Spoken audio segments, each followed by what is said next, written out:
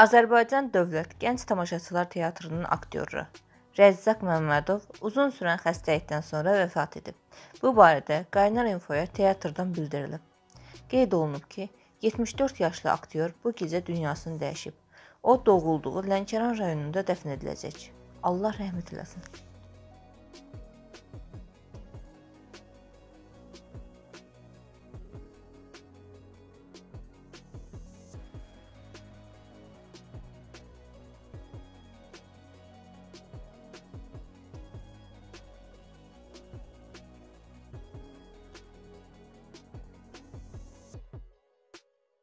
you